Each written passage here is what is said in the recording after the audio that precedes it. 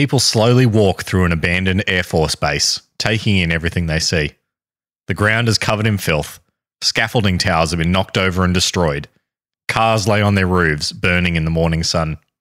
Some people are picking through what remains of their belongings in their trampled tents. It looks like a war zone, and really that's not far from the truth. It might surprise you that this is the aftermath of one of the biggest music festivals of the 90s, which shares a name with one of history's most loving and peaceful events. This week on Cheeky Tales, we cover the unraveling events of the Woodstock 99 Music Festival.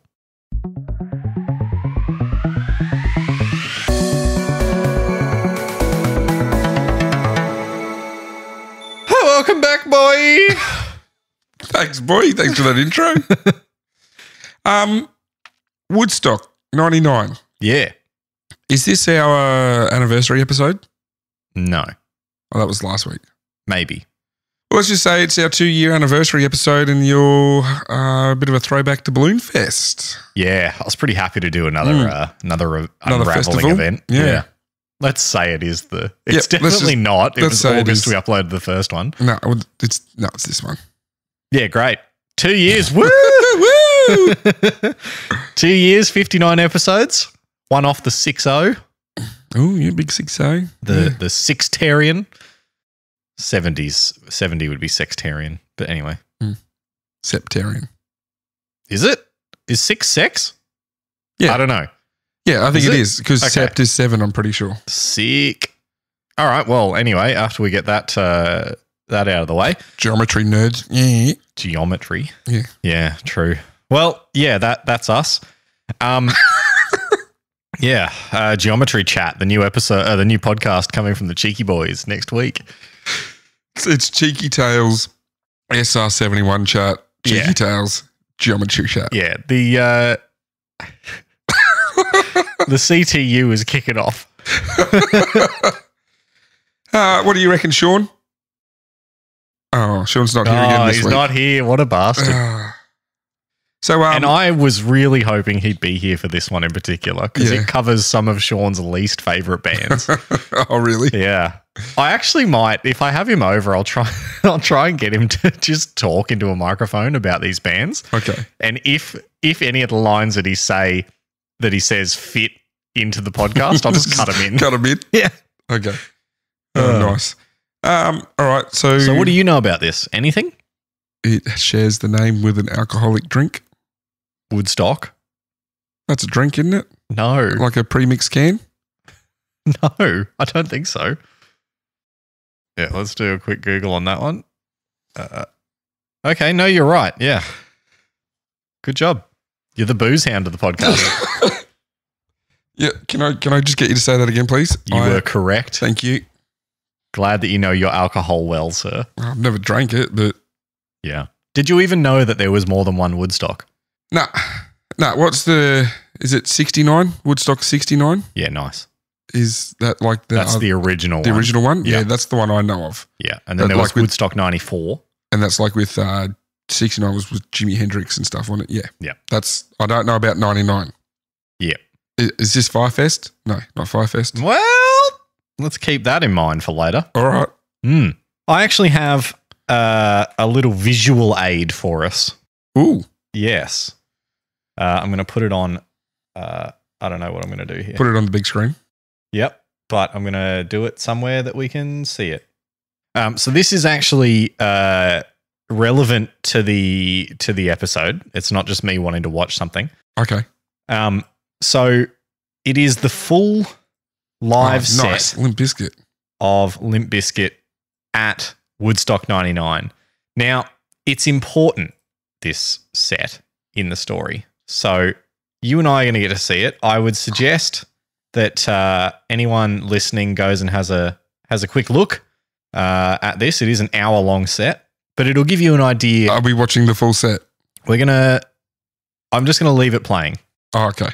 and um, just keep an eye on the crowd and like what's going on. Can you tell me what songs they're playing? Because I don't know if it, I don't know about you or if you know this about me. Are you a huge Limp Bizkit fan?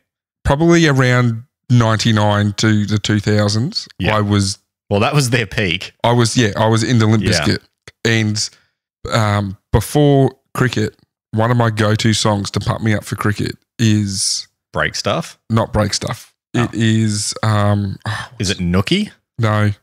It's the Mission Impossible Yeah, I don't know what that is. song. Um But look at how hyped he is. Look at him. Look at him go. Wait till you see a shot of the crowd, by the way. Woodstock 99 was huge. yeah, that looks massive. Yeah, look at that. Look at it. There's a huge crowd. And just watch how they're all jumping together for like hundreds of meters. My my on my cricket pump up playlist, Mm. um, I have Limp Bizkit's Take a Look Around. Ah, I I think that was a little bit after this. Yeah, it's not in this set. No, list. but break stuff is definitely in there. Nookie's in there. What was the rest of the songs they play? Uh, you got just like this. Uh, Yeah. Show me what you got. Counterfeit, 1999. Thieves, stuck, rearranged, break stuff, nookie, interlude, significant other mashup, and faith. Oh, the Michael George cover, Faith. Mm, That slaps, that song. yeah, I do like that song. But yeah, if you ever want to get in the mood for a fight, definitely listen to break stuff. yeah, yeah. Keep that in mind too. so let's kick off. Did you know that about me? That I was a bit of I a Limp Bizkit metalhead in the that, early no. 2000s? They're not metal. Metal enough for me. They're they're new metal in the sense that there's a guy with a deck up there going wicked, wicked, wicked. okay, fair enough. Look at Look the, at that crowd. I know it's two hundred thousand people. Same Yeah. amount as money as uh, DB Coops. Yeah, follow the money. Dollar bill for every Follow person the at money. Woodstock 99. So, the backstory. I would say it's a safe bet that most of our listeners know about Woodstock, the counterculture music festival that took place in 1969. Nice. Countercultural. Counterculture. Counterculture. Okay. Mm. Why was it counterculture? Well, at that time, Because it was, it was like a piece. yeah, and it was like hippies and stuff. Yeah, and it was 69. That would have put it near, I want to say Vietnam. Yep. Right in the middle of Vietnam. Yep. Right in the middle of the moon landing, too. Yep.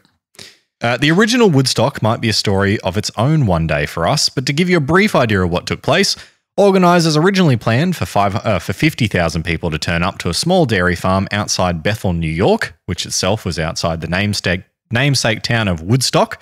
Despite only selling tickets in record stores in the greater New York area or via mail-in, they sold 186,000 tickets prior to the event. So three times, or just over three times what they were expecting. Nearly four times, Yeah, Yeah, nice. When the day came to open, they found that they hadn't adequately prepared ticket booths and fences, and so were forced to open the festival up to anyone that could get there for free. Eventually, an estimated 450,000 people would clog the roads in and around Bethel, wow. nine times what they expected. This Causing- is the original 69. Yeah. Yep. Nice. Causing chaos for the locals who couldn't control the influx of festival goers. As the event began, the rain set in, uh, sporadically showering everyone at the event and creating a muddy mess, not just on the site, but in all the streets around.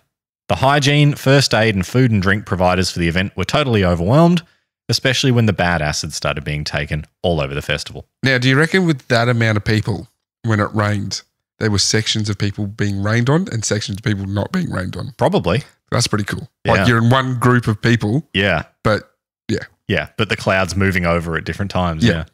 By the way, one thing, just going back to this uh, this festival performance, check out all the stuff being hurled in the crowd. But you notice it's something you don't see today. Look how many people are just standing around on the stage, like on the outside edges there. are they crowd members? No, Or they're just, they're just like people. just roadies and stuff? Like Kid Rock's there, Puff Daddy's there, like other Oh, people right. that performed are in there. They're just And like just- standing they're just around watching. watching. Yeah, there's heaps of people there. There's probably like 50 people on stage that aren't in the band. I did not know that about the guitarist in Limp Bizkit. I had no idea that he wore like face paint like that. Yeah. Every performance, I think, to this day. Also, are they not just like the most white trash band you've ever seen? They are. They definitely are. uh, anyway, Oh, I didn't. Did I do a pun? no. All right, boy. Let's um play that funky podcast, White Boy. That's me. I'm the white boy. Despite all the poor experiences, the music set the stage for a pivotal moment in the counterculture movement in the United States. Yeah. And to this day, Woodstock is seen as an important cultural touchstone and is referenced regularly in modern media. Is there an Australian version of Woodstock like '69? I feel like. Don't think so. Mm, okay. The event itself was a total financial failure and almost. Even though they had nine times more people than yeah, they you were got to remember they didn't expect any of them. Yeah, and not everyone paid for tickets. Yeah. Yeah. Uh, It almost bankrupted the organisers until a movie was released in 1970 uh, that gave them the royalties to pay back their debtors and set them up for life. It took almost 50 years for the locals to forget, though, as the town of Bethel would ban large gatherings and block access to the site in future to ensure there was no follow up. Until 2011. Yeah, something like that. Wow. No, 50 years between 19. Oh, really? That long? Oh, 69. Oh, yeah, shit, 69. Yep. So until like four years ago. Yeah. they only recently were like, all right, fine. Yeah. and then Woodstock 2020 happens. Yep. Half a million people convert on New Bethel. It was Bethel. Bethel. Yeah. Uh, to be honest, I'm pretty glad I'm telling the story rather than living it because it sounds pretty gross.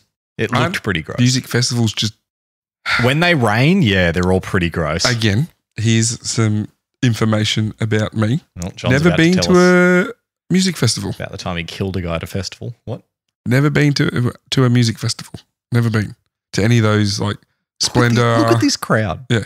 Like, look at look at how far back they're jumping. It's like hundred meters back from the stage, and they're jumping around. What are the ones we have here? Like Splendour in the Grass, Good Times. Yeah, Good Times is probably the biggest. Good Times is probably the the most equivalent to Woodstock. Never, never been to 99 one. at least. I am not a huge live music person.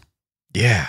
Well, I was looking at Good Times, but it was like two hundred and twenty five bucks, which isn't too bad when you think about the number of bands you see. But Yeah, man, I went to Soundwave in the day, and that was dope. To me, it's just you're paying what 220 bucks to go stand in the sun all day, get dehydrated, and come home with a wicked sunburn. So that doesn't appeal to me. Yeah, and they are always in the heat of summer too. Mm.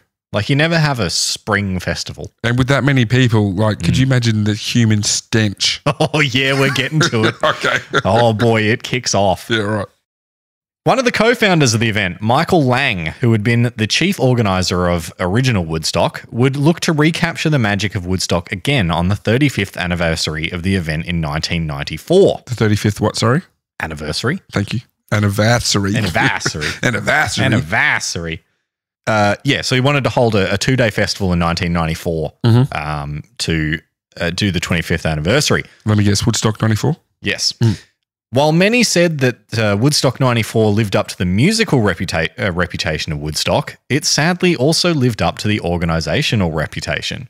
164,000 tickets were sold, but an estimated 350,000 people made it through the gates as again, the security and poor fencing couldn't stop people making their way in. Okay, so you hear the 25th anniversary, something's coming up. Mm.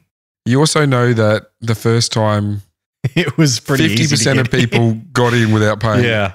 Are you showing up to this one just I'm probably going to just try and get in. get in? hey? Yeah, okay. Yeah. Yeah. nah, me too. Yeah. Look at the energy they've got. It's just insane. It's going to go for an hour. Yeah.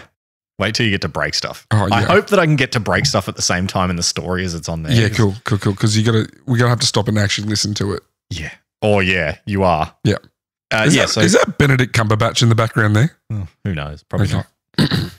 Uh, yeah, so 164,000 tickets sold, but an estimated 350,000 people made it through the gates, as again, security and poor fencing couldn't stop them. Again, the rain came down and turned the site into a mud puddle. With the fencing being so useless and the security totally overwhelmed, festival goers were able to bring in as many drugs and as much alcohol as they wanted. 800 people would end up being taken to hospital, 5,000 would be treated in the first aid tents, and three people would die, Oof. though none from violence or drugs. Again, the So event, from what then? uh, like um, Heat exhaustion. heart attacks and stuff, Oh, geez. like weird, weird little related things. I suppose when there's that many people in one Yeah. spot, you've got, okay. Again, the event was a financial failure and cost more money than it made. Starting to see a trend here. Yep. And so we make it to five years later, and Michael Lang is again organizing a music festival. This time it would be Woodstock 99. And again, the idea would be to celebrate the 30th anniversary of the original event with a music festival for a new generation. Peace and love between man would be the aim, but this time with rock and roll, and more importantly, a balance sheet in the black. Michael Lang would team up with a man named John Scher, a promoter in the New Jersey area, and begin planning in 1998. They faced an uphill battle, with the reputation of Woodstock 94 preceding them. They would put a major focus on the financial outcomes of the event and would sell the rights to providing food and drink to the highest bidder, as well as the rights to the garbage disposal on the eventual site throughout the event. This would mean that the organisers were not directly responsible for these aspects, with third party organisers taking control. That is foreshadowing. Boy. So I can see the point of selling the rights to food and drinks hmm because you would make an instant bit of money from selling those rights, and then that third party could then potentially make money on the sale of stuff. That's right. I don't see where you make the money collecting the rubbish. So neither do I. I don't know why that's something that you can buy. Yeah, I don't. Yeah, that yeah. doesn't make sense to me. I don't know how they make money from that. But Anyway. Yeah. Maybe just picking up people's drop wallets. That's how you recoup your Yeah. cost. I'm not sure. three hundred thousand or how many? How many? Oh, Maybe in that situation, it wasn't they bid for it. They just found the cheapest possible option. it- instead of yeah, okay, Yeah. yeah, that way, yeah. That's probably what actually happened. So yeah, they went for the cheapest option. Look at him go. Very distinct voice, that fella. Oh, they're nice cymbals, boy. They Mm. are. I own that one. Oh, do you? That's an A custom uh, 16 inch crash. It could be anything, and I'd be just like, yep. Zildjian cymbals. Uh, they are over 400 years old now. The company. Coverage of the event uh, on TV would be sold to MTV. Yeah, I know, right? um, who would offer a pay per view package to watch the event from home. Radio rights were also sold, as well as the rights to sell CDs and DVDs of the event after the fact. What? I was just going to ask because I'm, I'm periodically looking over to the the video you got playing, which is Limp Bizkit live. At Woodstock 99. Why is the channel Limp Bizkit Brazil? Um, you find that quite often. Why Brazilian YouTube Why channels. is it the Brazilian Limp Bizkit channel? Not So- just Brazil, it just seems like South America loves rock and roll music. And if you want just like full concerts, it's always the Brazilians or like the Okay. Argentines or something. Yeah. like it's not their official.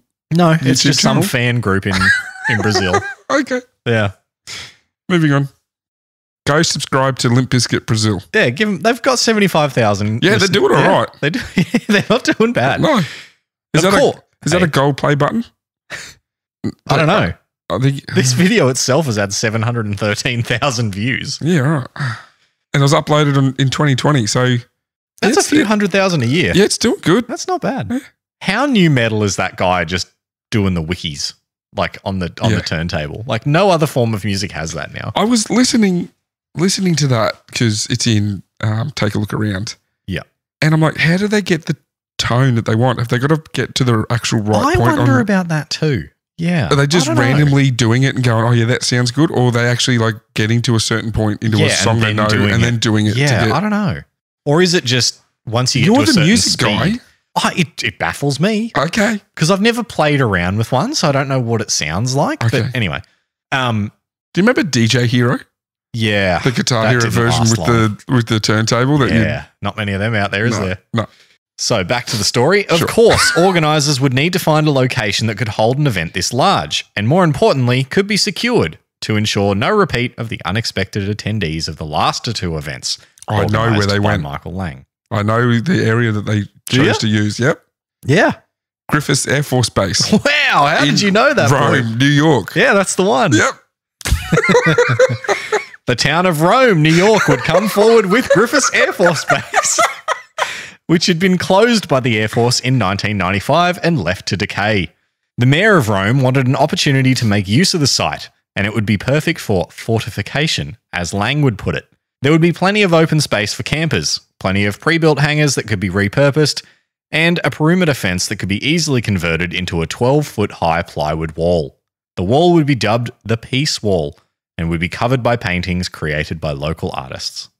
The layout of the venue would basically be in a triangle, with the main stage in the bottom right, a bunch of tents and vendors in them to the north of that, a rave hanger in the middle, and a secondary stage to the left. A rave hanger? Yes. That is a place I do not want to be found in. No, you do not. Trust me. Uh, a huge amount of the area would be covered by bitumen and concrete of the runways and taxiways, with very little shade to be found anywhere. So you work on a base. You Yeah. know how much of that is just open. Oh, there's a lot of open area. Yeah. So yeah, you know, like just picture an airport in your head. There's nothing out there No. to get shade from. Yeah. Um, before the event was set to begin, campers would start to arrive at the venue. And as they made their way through the security gates, they found that they weren't allowed to bring in any food or water and had to throw away what they had. Ooh. Water stations would be provided, but most people would need to buy water and all their food. people immediately found that the price of a bottle of water was $4, where normally around that time it would cost less than $1. Price gouging was pretty common at the vendors, which you expect at events like this, but it was pretty egregious at Woodstock. Mm. I, even still, I just feel like stopping people from bringing in their own water is a bit of a Yeah, dog move. yeah, I mean, it's water. yeah. And to expect people to just go around and fill up their bottles all the time, like, yeah. Look at the size of that stage, by the way. It's I didn't cover it in this, but the size of the main stage is bonkers big. yeah, I was just looking at it before. It, it looks like it's a an aircraft hangar that's been turned Yeah. into a stage. It's not. It's a scaffolding That's structure. ridiculous. It's it's huge. Yeah. And wide. That would be like oh, sixty meters tall, Yeah. and it's a square, so it could be. It'd be close to like fifty meters wide as well, like just Yeah. the stage area, and then you got the the side bits that Yeah. probably go for like another They seventy to eighty go for meters like each. 70 meters each. Yeah. Over, it'd be over hundred Yeah. meters wide. Do yourself a favor, look on our Facebook page and see. I'm sure I found a photo of the stage to put up. Yeah. Just how big this thing is. Oh, you'll have this in the link tree too. won't you, as Absolutely. I'll have this in there. Yeah. And you should watch it. I sat down and watched it today. By the way, see that kid standing there? That's like the That's- drummer's kid. No, just oh, just oh, can we? You can you go back like ten seconds? You need to go back another ten seconds. We're at like nineteen There's minutes and forty-five. Daddy. It's Puff Daddy. It's P Diddy in the background. Yeah. That's what I was just getting at. Like Kid Rock's there too. He's on with the red hat. Yeah. In an ominous moment before the event began, the mayor of Rome, Michael Lang, and John Scher would decide to try and christen the event by wrapping a champagne bottle in a tie dyed t shirt and smashing it against the scaffolding of the stage. It would take about 15 attempts to smash the bottle before it would finally break. The video of it's hilarious. It's just this Oh. guy like whipping Wow. this pint. He's just he's like he's holding it by the handle, like by the top of the he- bottle. it's hitting. He's not just bang, missing. Bang, bang, just- bang, bang, bang. it won't go. Yeah. That's awesome. Very, very funny. Day one, Friday. So now it's time for the festival to kick off, and almost immediately the crowd full of drunken stoned dudes would start to cause trouble. There was a huge amount of female nudity on site, and a fair share of dongs hanging too. Oh. And this was all it took for some dudes to take it too far. Almost the first woman on stage, actress Rosie Perez, faced chants of show us your tits when she was attempting to introduce DMX. And when Sheryl Crow got on stage for her set, she faced the same. This is why I said I'd Yeah. bring back show us your tids. Tids. It was tids. Show us your tids. Yeah. At one stage, Sheryl Crow would uh, reply to the crowd with a quick and snarky reply of, You'd have to pay way more than you did to see my tits. After this, she had poo thrown at her during Oh. one of her songs. She would say in 2019 that this was one of the worst gigs of her life. Can't say that's surprising. So yeah, that's the uh, that's the kind of crowd that we're talking about at this event. This is day one Yeah. of a three day festival. And this is very early day one. When the Offspring, Sean's favorite band, got on stage, singer Dexter Holland would notice the number of crowd surfing women being groped and would scold the crowd, saying, Just because a girl wants to go crowd surfing, it doesn't give the guys the right to molest them. You know what I'm saying? And going on to encourage the women groped to give the guys a swift kick in the balls. Nice. After this, the offspring would line up five dummies with the faces of the Backstreet Boys on them, hitting them with baseball bats. The crowd in attendance was already hyped up, and seeing this fired them up even more. Hey Sean, if uh, Offspring isn't your favorite band, tell tell us now. Just deny it right now. Yeah, he loves them. Cool. Yeah. What I thought. There was a sentiment in the crowd that MTV was to blame for promoting boy bands over real rock and roll. And many point to this as the tipping point where anger started to be brought into the feelings of the crowd. You can certainly hear it in the crowd when they speak to the MTV presenters at points in the broadcast that you can find. So, people talk about this event. It's like it's a rock heavy event, Yeah. right? And at the time, the bands that were involved were like Rage Against the Machine, Limp Bizkit, Metallica, Red Hot Chili Peppers. All these bands that Yeah, are like you did not mention a band that I did not do not enjoy. and they're all like high energy, Yeah. ragey type Yeah. music, right? Very different to Woodstock original. which is like chill out. Yeah. Yeah. And also like the kind of guys that would be going to this festival in the late 90s are going to be that kind of like, you know, late teens, early. Yeah, you can see them in this footage, right? Oh no, I was looking at the female nudity. Oh yeah, it's everywhere, everywhere. Yeah, um, real heavy nudity in the the documentaries on this. It has to be said. Don't um don't necessarily watch them with your children. As the day progressed, the heat kept increasing. Temperatures at the site ranged between high 90s Fahrenheit and 100s Fahrenheit. So that's 35 to high 38. 30s. Yeah, getting up towards the 40s, which started to create delays at the water stations. What? Just that. Was it a child standing on the instruments in the background? Yeah, I'm pretty sure that's the drummer's kid. Yeah, right. Yeah, so that started the um, the high temperature started creating delays at the water stations, exacerbating the issue of the cost of food and drink at the site. It became clear to festival goers that this wasn't a peace and love event anymore. It was about making money.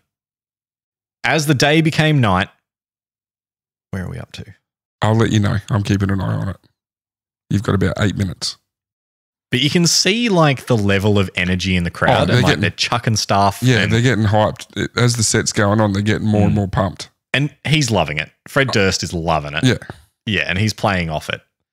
As the day became night, so the acts that were playing became more and more hard rock. Despite the belief that Woodstock 99 would be rooted in the peace and love of Woodstock 69, nice, the music was different now, and everybody was excited to see acts like Rage Against the Machine, Limp Bizkit, and Korn. Korn would be the second last act on the uh, on Friday night, but easily the most anticipated. Yeah, that's a big, Huge get. huge get. Yeah. Yeah. Those interviewed about the event would say that they had never seen a crowd as excited before a set than before Korn came on stage. And so, as Korn began their set, frontman Jonathan Davis would say that he could see the crowd moving in waves as the music washed out over them for thousands of feet. The crowd would get so worked up that security couldn't cope with the number of people being pushed over the front of the barricades, and the energy in the crowd was unbelievable. Korn had worked them into a frenzy. Entire sections of the crowd were moving together as one, and the amount of energy left people feeling like something was about to go down.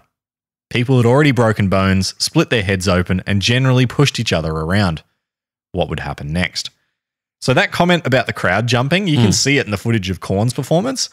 This crowd's big enough that you can actually watch the sound waves go through the crowd as they jump in time with the music Oh wow, like it's a big enough crowd that goes far enough that you can see the speed of Yeah, sound in the jumping. that's It's cool to see. that's cool to see, but Yeah. that's mind-boggling. Yeah, so the crowd is like a wave pool, Mm. like going up and down in waves. Yeah. Following Korn would be Bush, a much softer brand of music. I didn't recognize Bush when I first heard the name or saw them, but I recognized one of their songs straight away. Okay.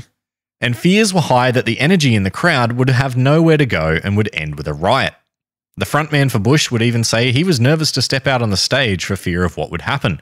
But thankfully, and uncharacteristically for what would happen over the next two days, the crowd would come back from the brink and calm down for a relatively uneventful end to the first night on stage. Of the 220 ish thousand people, 60,000 would find their way to the rave hangar, becoming less and less clothed and more and more drunk and high and people said that they felt the sense of limitless potential for the rest of the event felt both incredible and terrifying, as people were doing whatever they wanted to in that hangar. Gross. Yeah, the footage of the uh, the rave is is probably the grossest of the lot. There's just people walking around nude. People said they found people having sex in the corner, like filthy, real degenerate behavior. When did Blade? Oh, 98. Yeah, When did their first Blade movie come out? 98. Because when you said rave hanger, look, you can see it happening. Oh, don't worry. when you said rave hanger, I was thinking of the blood rave from the f- the blood Ah. rave from the first Blade movie. Like, do you know the Mm. scene I'm talking about? Yeah. Yeah. Yeah, they just showed a shot of everyone jumping and you Mm. could see it waving out. Yeah.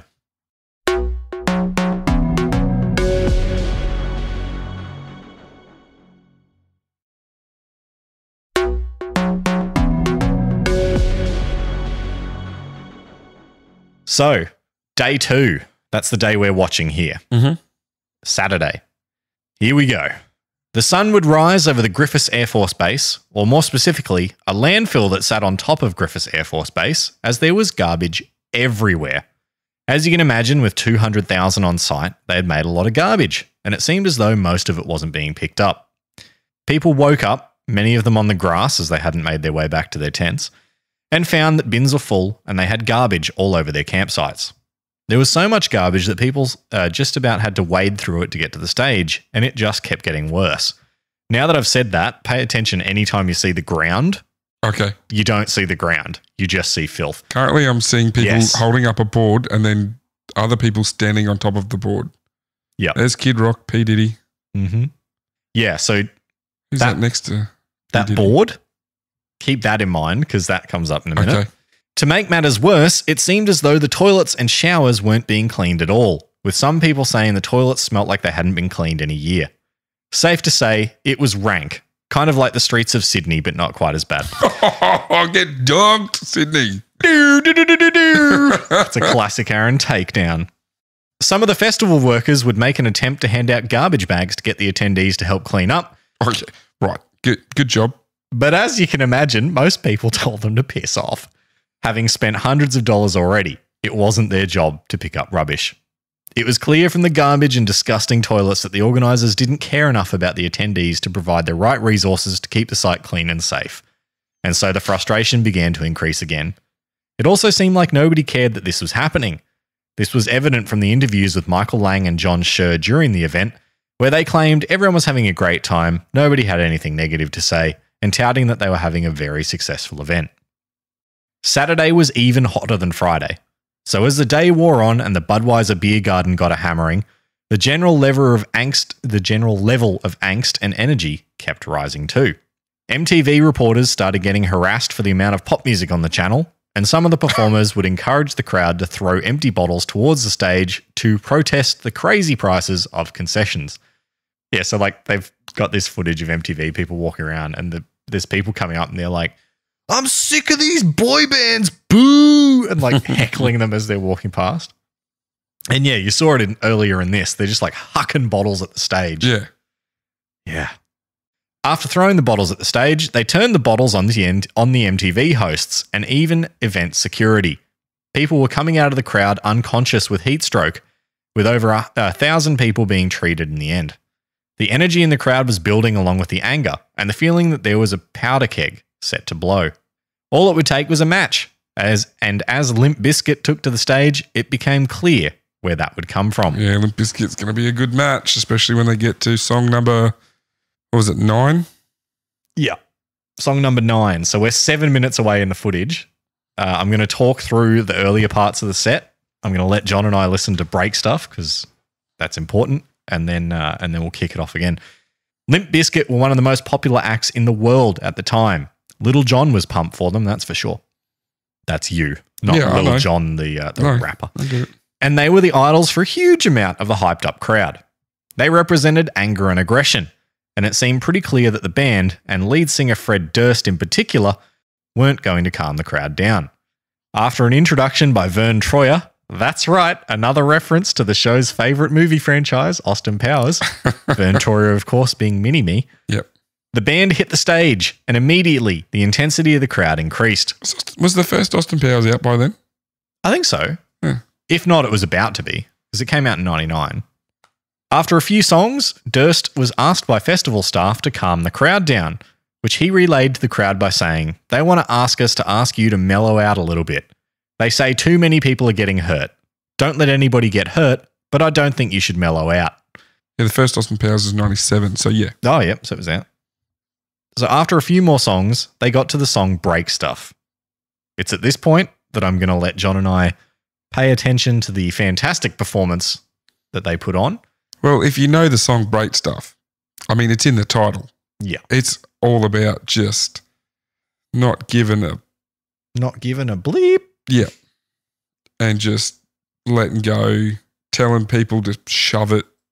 Just one of those days feeling like a freight train. Yeah. First one to complain leaves with a blood stain. Yeah. That's right, I'm a maniac. But you watch your back because I'm up the program. I know the song. Anyway, uh, feel free to take your headphones off. We'll just listen to this. Were you aware of me to re- Were you thinking I was going to recite the lyrics? I know the song. this is going to be fun to edit out. Just a 10 minute block of nothing. Man, you can really tell he's not a uh, fantastic singer in this song. you can actually see it in this. in between songs, he like walks off to the side, and some guy comes out, and he's like, and then he walks back out on stage. He's like, "They want you to calm down." Yeah, I think I saw it before. Yeah. Was Behind Blue Eyes the last song they released? That was a good song. Was that them? Yeah. Behind blue eyes. That's that's Limp Bizkit. Is, it, is that Limp Bizkit? Yeah. okay.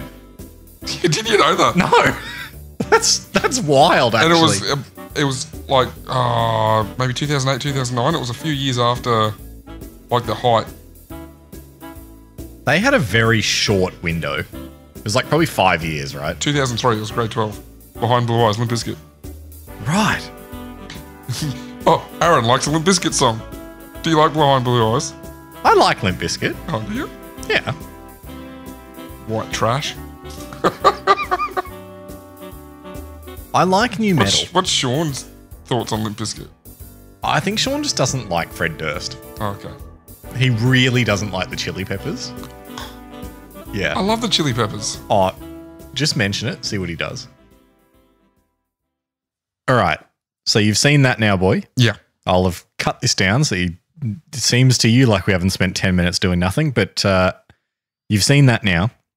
So you heard the preamble where Durst, uh, before they get into break stuff, asks the crowd how many of you like NSYNC, and you heard the boos. mm-hmm can As- confirm As break stuff progressed and got to the breakdown, Durst would monologue with the crowd, saying, Time to reach deep down inside and take all that negative energy and let that shit out of your fucking system. You got girl problems, you got boy problems, you got parent problems, you got boss problems, you got problem you got job problems, you got a problem with me, you got a problem with yourself. It's time to take all that negative energy and put it the fuck out. You feel me, Woodstock? All right, let's bring it out. When this song kicks in, I want to see you fucking kick in. And that was all it took. Footage of the crowd at this moment shows almost the entire 200,000 people jumping up and down as one, with the crowd going back hundreds of meters from the stage. People were getting hit and kicked, trampled, and a hell of a mosh pit broke out. Out in the middle of the crowd was the sound tower, a scaffolding structure that housed the sound desks, lighting, and cameras, fully surrounded by a plywood wall. right It was an island in the sea of people, and that worked up crowd started trying to climb up the wall and even pulling pieces off. Security from the stage tried to push their way through the crowd, but there was little they could do. By the end of break stuff, they really had broken stuff, and the sound crew were forced to mute Durst's microphone to allow the medical team time to get the injured uh, time to get to the injured crowd members. The crowd had pulled off large pieces of the plywood wall and were crowd surfing on them, and had breached into the sound tower. Things were getting out of hand fast. As Limp Bizkit continued their set, Durst was given multiple requests to try to calm down the crowd, but his only attempt was during the song Nookie, where he told the crowd, We already let all the negative energy out. It's time to reach down and bring that positive energy to this motherfucker. It's time to let yourself go right now because there are no motherfucking rules out here. Immediately after finishing Nookie, Durst would ask the crowd to get him a piece of plywood so he could sing while crowd surfing. He definitely wasn't trying to calm this crowd down. Immediately after the crowd surfing incident, the organisers pulled the plug on the set and ended it early. Durst would get a lot of heat for the way he acted during this set, and honestly, it's quite easy to see why he gets criticism. He definitely didn't try to ease the crowd down. On the flip side, if you've ever been in front of a crowd that are loving what you're doing, it's impossible to turn it off. yeah oh you'd know that I would know that. Anytime Aaron gets in front of more than three people who love what he's doing, he just plays it up so much. There's a reason why so many musicians end up on drugs because the high from a performance is addictive. And if you see how the crowd was acting, you can understand why he didn't turn it off. Um, I've played music to like 80 people before who were invested in it, and they were like, it was like a kids' summer camp. So they were like, probably the oldest person there would have been like 17 yeah. and that was like the high that was like insane like Yeah. to have 70 or 80 people just like invested in the music you're playing so i can't even imagine what a real concert would be Mm. like like you imagine the feeling coming off stage after this performance Oh, like it's no yeah. wonder he didn't turn it down Yeah. yeah um and like we've been watching this there's not really anything different they're doing than any other concert you've ever seen right Not really. It's just their brand of music, though. Yeah. It's to blame Limp Bizkit for being Limp Bizkit's pretty unfair.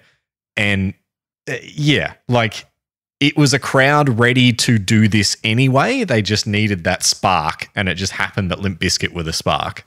Oh, and they had the perfect song for it. Break stuff. That Yeah, the perfect song for it. yeah. So it was it was set to go off. Still, after the set, there was so much energy in the crowd, and with very little opportunity to release it any other way than to keep the party going. When the performances on the main stage ended for the night, the only thing left to do was move over to the rave hangar, where Fatboy Slim was about to perform. what?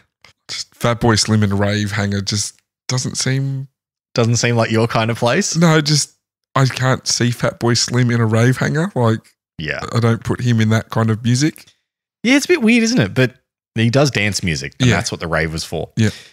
So into the early hours of the morning, the crowd would continue to party. There was sex, drugs, and alcohol everywhere, with the Saturday night rave making the Friday night one look like a kids' party. Oh, jeez. Unfortunately, assaults on women were recorded throughout the night. The most, uh, the worst of which would result in lawsuits being brought against the festival in later months. Fatboy Slim was playing his set when suddenly a pair of headlights started pushing through the crowd. Someone, high on drugs, had driven a van into the hangar. Fatboy Slim was told to stop the music, and the crowd were told that the van had to be removed. People started hurling bottles at the stage, and the anger grew again. Eventually, the van would be pushed out of the hangar. Fatboy Slim would finish his set and would rush out of there to the safety of the airport to fly out the next morning. Worst thing about this is, wasn't even the worst things would get. Day three, Sunday, would bring another level, another level of energy, anger, and destruction. So yeah, you're you're watching right now. Durst like He's trying. He's calling for the plywood. I think. yeah, he's trying to get into the crowd. So his first thing was he wanted to get out to that little sound tower that was out there. Yeah. And then he sees the plywood. He's like, I want to go on that plywood. Yeah. So this rave got pretty intense on the Saturday night. Um, There's a, I got a guy at work. He loves his metal. Yeah. And he would often describe going to concerts or whatever. And he's just like, you just end up with two sides and you just run into each other as hard as you can. Yeah. And that's all they do the Mm. entire song. Just running in, like dropping shoulders into people. And yeah. Just bouncing off each other, really. But yeah. Yeah, but the rave, this guy just like got in a van and just drove, Drove into in. the crowd. And people were like jumping on top of it and like dancing on top of it as it drove in. And the organizers are like, oh my God, get that van out of there. So yeah, they had to put like a hold on and everyone was uh everyone was getting a little bit out of hand. So let's get to day three, Sunday. Again, the sun would rise over a sea of garbage, but this time the toilet and shower blocks were even worse. People were breaking the pipes leading into the area in protest of the long lines, creating free flowing rivers of water around the showers and toilets. People oh, so start, they're, they're breaking the inlet pipes, not necessarily the outlet pipes. yeah, so they're breaking the pipes in so they can get water easier. Yep. right? But that's then creating this like big, huge puddle area Yeah. around the toilets. People started doing slip and slides through the mud, getting That- absolutely covered in it. that does sound fun, though. Yeah, it looks like a lot of fun. Little did they know the porta potties were overflowing into water from the Oh, pipes, That's not so much fun anymore. making a mud and poop mix. oh, a mud and mud mix. Yeah. Oh, mud pies. Many people would get sick from this in the coming days if they weren't already sick from the poor water quality. Scientific testing of the water available at the water stations over the three days of the festival came back with failed results, showing that the water was not suitable for human consumption. So they found that pretty much every single tap that was available uh, had been contaminated with feces. Yeah. Okay. Yep. That's Yeah. awesome. So they the there was an interview that I saw with someone that had been at Woodstock, and she said that she woke up on Sunday morning with trench mouth.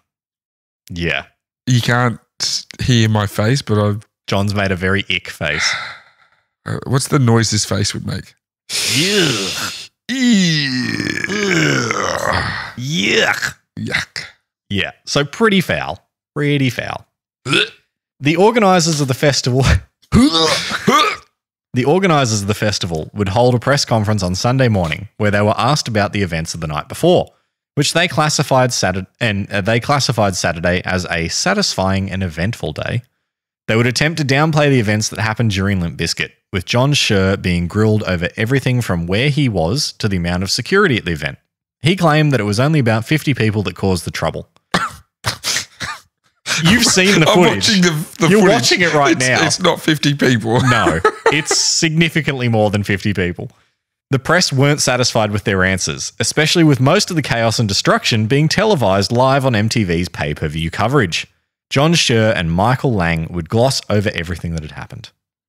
MTV coverage of the early hours of the day showed tired, grubby people walking through a tent city that looked more like a third world refugee camp. Many people started to leave, with news broadcasts showing people driving out. People interviewed said that the heat had sapped their energy and the conditions inside made it unbearable to continue. Price gouging continued, with the cost of a bottle of water ballooning to $12. Holy crap. Yeah, that's 12 times what it would normally cost as the stocks ran low. People started to graffiti the walls and infrastructure with down with profit stock, which I think is fantastic rebel branding. Despite the negativity, there was a rumor that a special closing act had been arranged for the end of the concert. Ooh. In interviews, Scher and Lang would state that the Red Hot Chili Peppers, Sean's second favorite band, were the last official Oh! act. What? Dong. Oh yeah, yeah, the dude that's like totally nude when he gets up on the bit He of wood. gets off on top of the wood, just completely starkers. Yeah. And look, there's yeah, it's this crowd was wild. Like, can you imagine going to a concert and seeing a dude's dick? like, no, you, you just can't. So yeah, my, uh, Scher and Langwood state the Red Hot Chili Peppers were the last official act with something special being cooked up for the finale.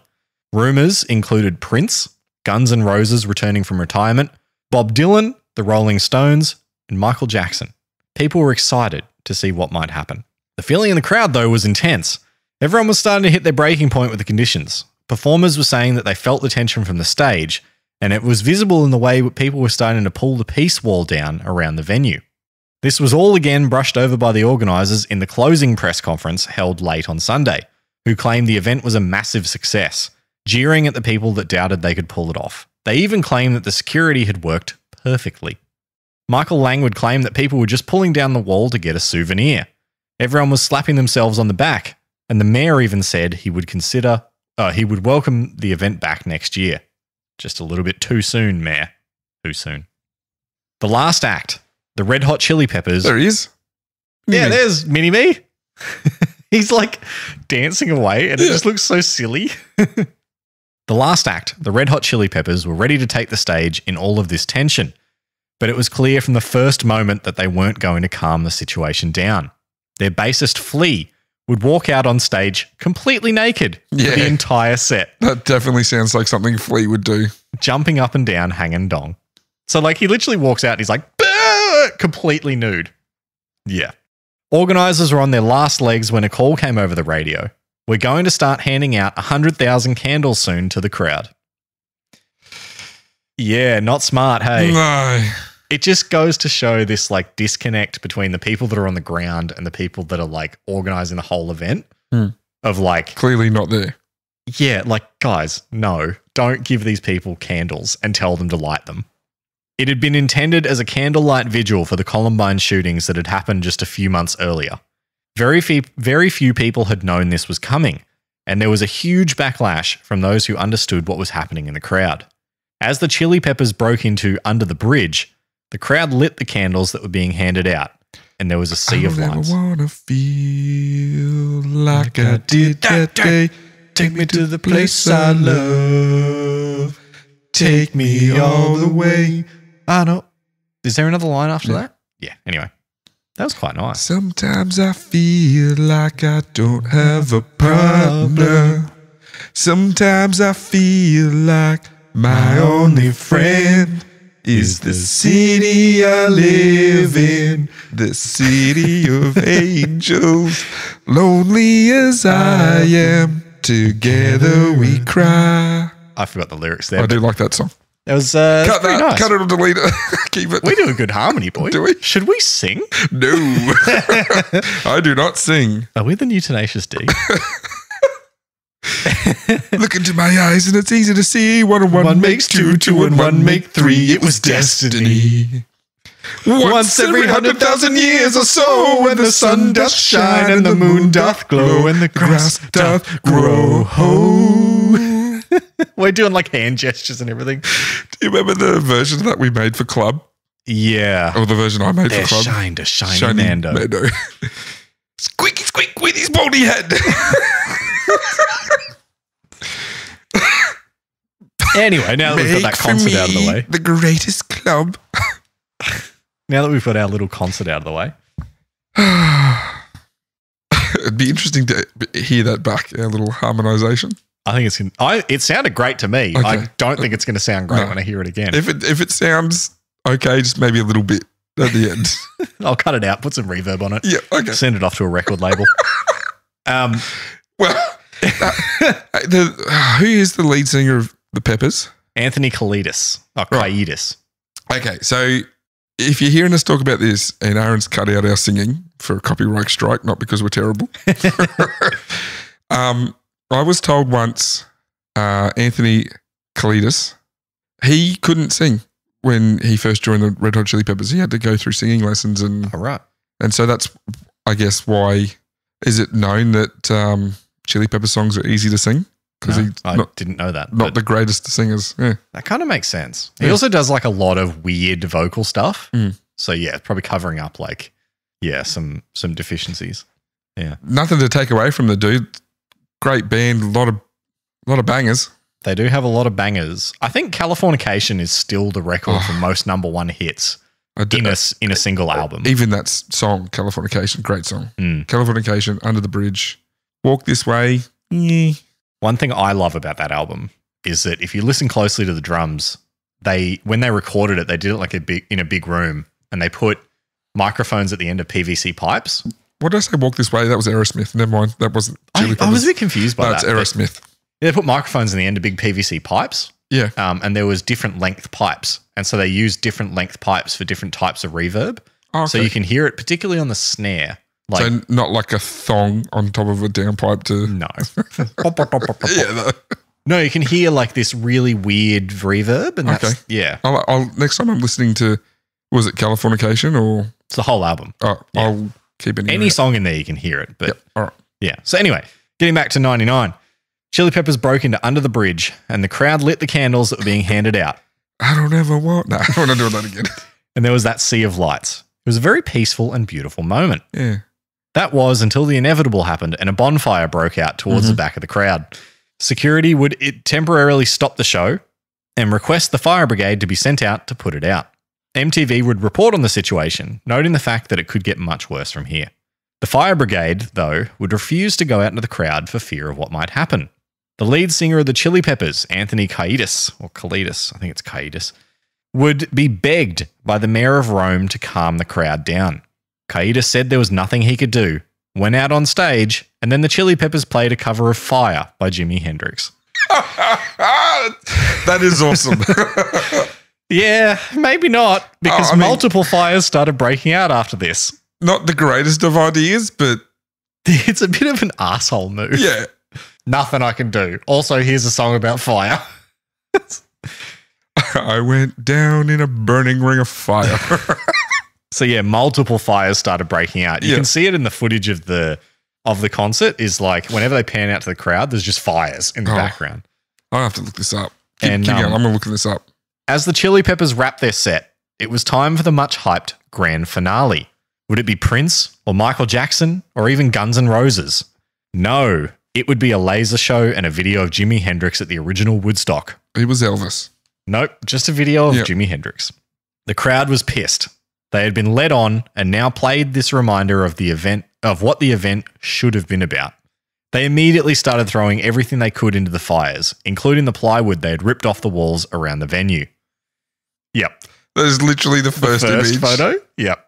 The first frame. It's uh it's Flea T posing on the stage, completely nude, hanging dong. The MTV reporters uh, would be pelted with bottles and rocks, eventually end- ending their coverage with an emergency evacuation from the venue. The sky went orange with the amount of fires burning. One reporter said it felt like covering news in a war zone, and it wasn't far off.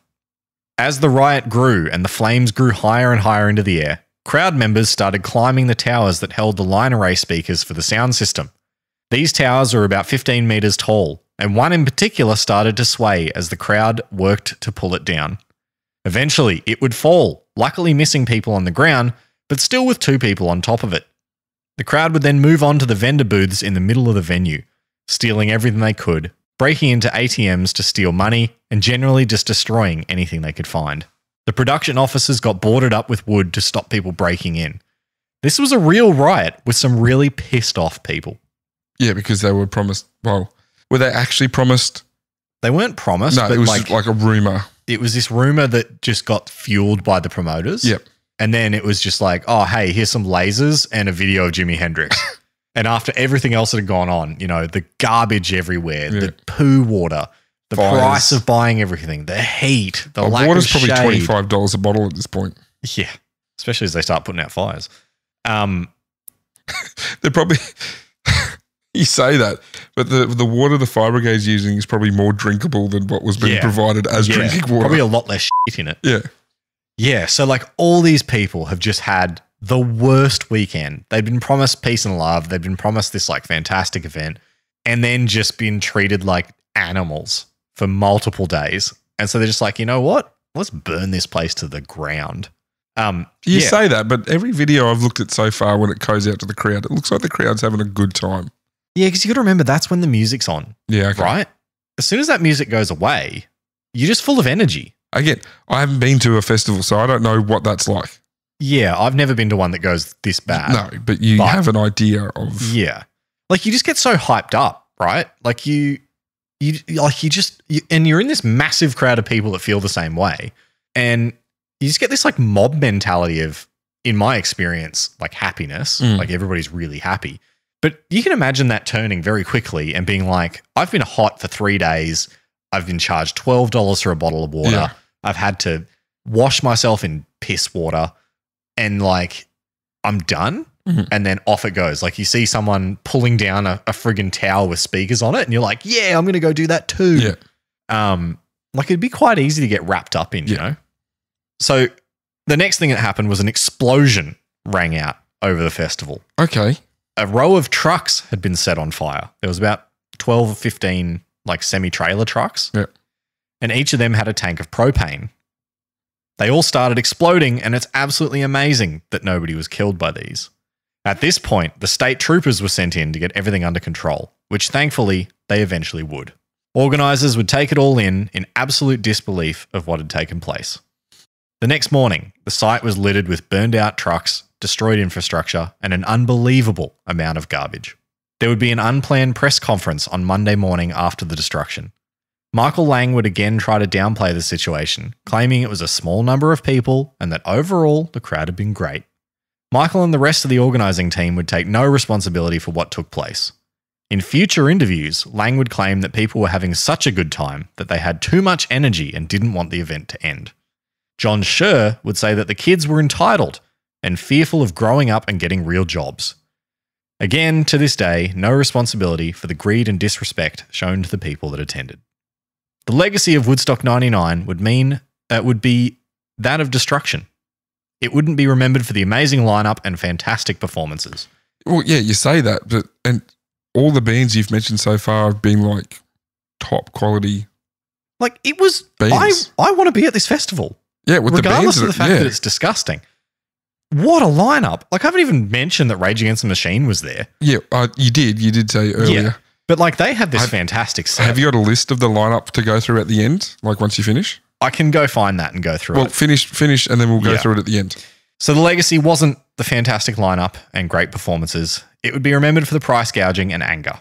Michael Lang would attempt to organise further Woodstock events in future, even as recently as 2019 for the 50th anniversary, but understandably, he wouldn't be able to source the funding to get it off the ground. Good riddance. So there hasn't been one since. There has not been a Woodstock since. When, So there's been events that are like, yeah, when was Fire Festival? that was like two years ago, wasn't it? I think it was more than that. Um, yeah, but that that is the festival. 2017 was Fire Festival. And there's a proposed one for December 6th next year. Next year. Mhm. Oh, geez. So, yeah, day one on the East stage, you had James Brown, Jamiroquai, Sheryl Crow, DMX, The Offspring, Korn, and Bush. Yep. There's a few others there, but uh, on the West stage, the Umbilical Brothers, apparently. Hang on. Yeah. As in the Australian Yeah. comedy duo, the Yeah. Umbilical Brothers. yeah. yeah. They are awesome, but not who I would expect to No. see. no. Uh, Insane, Cl- Insane Clown Posse was there. Uh, Moby played at the emerging artist stage. So this is before Moby was big. Ben Lee was Hang there. on. Who has the song that's dishing Moby out? Eminem. It is Eminem. Okay, yeah. Uh, on the Saturday at the East stage, you had Kid Rock, uh, you had Counting Crows, Dave Matthews Band, Alanis Morissette, Limp Bizkit, Rage Against the Machine, Metallica. That's a good lineup. The West stage had Ice Cube, uh, the Chemical Brothers. Where was the Offspring? Did I just totally miss them? No, you said that on Oh yeah, first day. they played before Korn. Yep. Um, then you had yeah, nobody really of note except Fatboy Slim in the rave tent.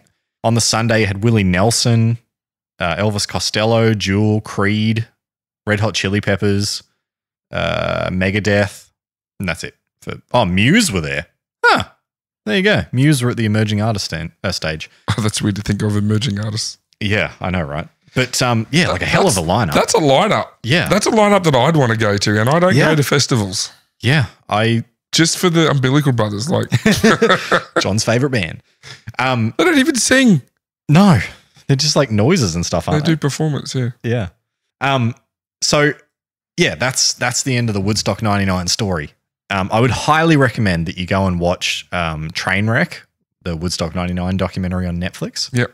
Um, I'm just going to play the op- the intro for you, which shows like the aftermath. yeah. So yeah, this is like the day after. So you can see like destroyed Scaffolding. infrastructure there. Yeah. yeah. All the rubbish. Is that the peace wall? Uh, yeah, that's part of the peace wall. There's the porta potties and stuff. There's some of the fires still burning out. So this is at one of the stages.